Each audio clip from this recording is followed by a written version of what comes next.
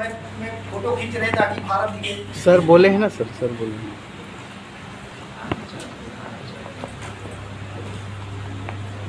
तो कितने लोग ऐसा करते हैं? ईमानदारी से बताइए। कभी बारह घंटे चौदह घंटे चार घंटे छह घंटे कुछ पढ़ा हो इस टाइम के अलावा। कभी नहीं पढ़ा? पढ़ा है? कितने घंटे? पढ़ा है। आप किस क्लास में फाइनल कंप्लीट होने वाला है। हो गया, बधाई। यानी कि कुल मिलाकर के कंप्लीट ही हो गया। जैसे इन्होंने बताया कि इनका भी ट्वेल्थ कंप्लीट हुआ है। तो कुल मिलाकर के बात ये कहने वाली है कि कहीं ना कहीं आपको उतना तो पढ़ना ही पड़ेगा। जब तक आप पढ़ेंगे नहीं, तब तक कुछ होगा नहीं। अब ये पढ़ने की कला कहाँ से आए? कुछ लोग सोचते होंगे घर में पढ़ते हैं तो फ़ोन आ जाता है। कितने लोगों को आ जाता है। आयुष जी आता है कि नहीं? है आता है?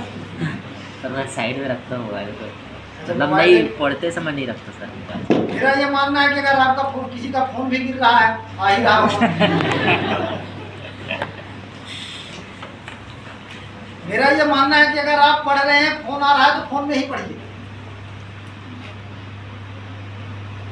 उस टाइम को वहाँ तक पहुंचाइए, कम से कम 12 से 14 घंटे तो आप अपने लिए दीजिए। तब तो आप चीज़ें कवर कर पाएँगे। अब कुछ सोचते होंगे कि 12 से 14 घंटे हम पढ़ें क्या?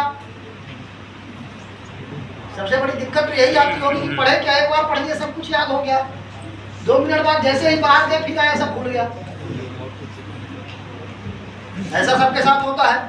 सर जब तक पढ़ते रहते हैं सारी चीज़ें याद होती है जैसे ही बंद करके बाहर गए सब भूल गया। ये भूला क्यों? क्यों भूला? स्टोर नहीं कर पाए इनका वज़न ही माइंड का चौदह सौ ग्राम का कितनी सारी चीज़ें रख लेंगे तो निश्चित रूप से स्टोर नहीं हो पाएगा। अब इन चीज़ों को करने के लिए जो 14 से 15 घंटे या 12 14 घंटे डेली पढ़ते हैं, वो बार बार यही करते हैं कि एक बार पढ़ने के बाद दोबारा भी उसको देखते हैं, किसी न किसी रूप में। दोबारा जब भूल गया तो उसको तीसरी बार देखा। तीसरी बार अगर भूल रहा है तो फिर से एक बार देखा। तो कम से कम तीन से चार बार जब हम देखते हैं तो चीज़ें हमारे दिमाग में रिफ्लेक्ट करने लगती है और फिर हमें वो कभी नहीं भूलता। तो जितने लोग ऐसा पढ़ते हैं वो बार बार यही करते हैं। इसीलिए उनको चीज़ें याद होती हैं। ना तो कोई बाबा रामदेव का चूरन आता है खाने से याद होती है चीज़ें, ना कभी कोई चूरन बनेगा जो याद करा दे। यानी कि याद कौन करेगा? सिर्फ़ और सिर्फ़ आप। हमारी बात समझ में? कोई और करेगा? यहाँ से जाने के बाद जो आपने अपने नोट कापी में कुछ नोट नहीं किया है, यहाँ से जाने के बाद जैसे ही आप इसको घर में जाएँगे, रखेंगे दस मिनट बाद देखेंगे तो आपको कुछ याद नहीं रहेगा, सिर्फ़ इतना याद रहेगा कि उन्होंने ऐसे ऐसे करके भारत का नक्शा बना दिया। सिर्फ़ इतना याद रह जाएगा कि हाँ भारत का नक्शा बनते हुए हमने ठीक से देखा था, इसलिए भारत का नक्शा याद है।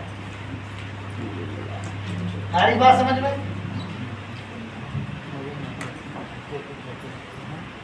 अब बात करते हैं भारत के नदियों की। नदियाँ भी बह रही होंगी।